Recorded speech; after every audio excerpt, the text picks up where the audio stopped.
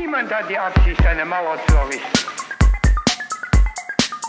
Ich geb zu, ich war bislang ein klein bisschen befangen, denn ich war eigentlich immer davon ausgegangen, dass die DDR vor Jahren ein jähes Ende fand. Es wurde später dann auch Mauerfall und Wendezeit genannt, doch vielleicht war das ja nur so ein Mandela-Effekt, denn heute Morgen bin ich aufgewacht und da hab ich gecheckt, dass die olle DDR Osten, nein, ich fürchte, sie ist sogar expandiert. Ich wollte an den Strand gehen, doch der Strand war abgesperrt, weil das Meer genau wie der Strand und ich dem deutschen Staat gehört. Und wenn die Bürokraten im Politbüro entscheiden, dass man nicht mehr reisen darf, dann müssen wir zu Hause bleiben. Wenn die Experten sagen, Freunde treffen ist viel zu gefährlich, dann wird Freunde treffen strafbar.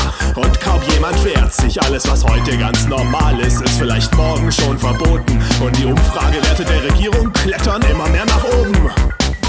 Was ist nur los mit den Menschen in diesem Land? Kann mir das irgendjemand erklären? Ich kapier's echt nicht.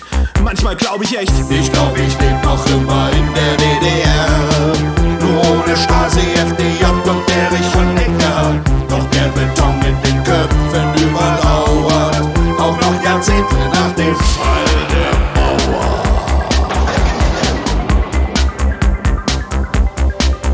Selbstverliebte Bürokraten regieren das Land und fahren Wirtschaft und Kultur ganz kompetent an die Wand. Zur Not nimmt man ein paar hundert Milliarden neue Schulden auf. Die nächsten Generationen, die freuen sich sicher schon drauf.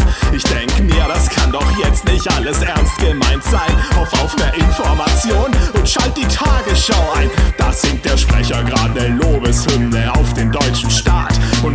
Deutschland von allen Ländern die besten Zahlen hat. Hurra, wir sind mal wieder Weltmeister. Kritik gibt es kaum. Und wenn dann nur um gleich darauf auf die Kritiker draufzuhauen. Man berichtet mal kurz über Anti-Lockdown-Demonstranten und verhöhnt sie gleich darauf als Nazis und irre Ignoranten. Auch viele Linke stimmen in das Loblied auf die Zwangsmaßnahmen ein.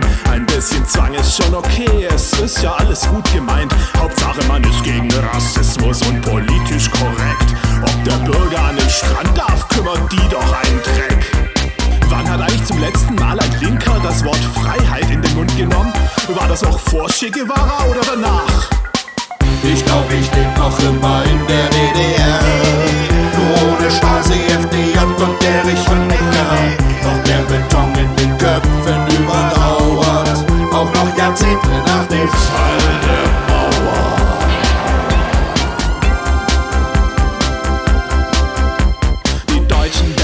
denunzieren noch genauso gern wie einst. Alles wird sofort gemeldet, was irgendwie verdächtig scheint. Was, du trägst keine Maske, wie ihr hockt hier zu viert. Abweichler werden umerzogen, bis ein jeder pariert. Nein, es geht nicht nur um Corona, nicht um irgendeine Seuche. Wenn der dritte Weltkrieg käme, wär's doch haargenau das gleiche. Auch dann würden die als erstes unsere Freiheiten beschneiden und verweisen auf die schlimme Krise und die harten Zeiten. Doch eine Freiheit, die nur gilt, wenn es grad keine Krise gibt, die so schlimm ist, dass der Staat uns unsere Freiheiten entzieht.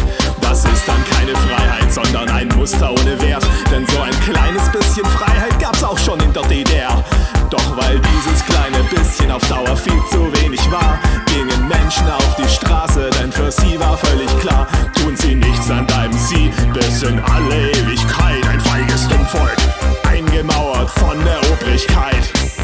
dann kam die Wende und dann alles wieder von vorn. Und täglich grüßt der Honecker. Irgendwie ist das alles nur noch ein einziger Albtraum. Ich glaub, ich leb noch immer in der DDR.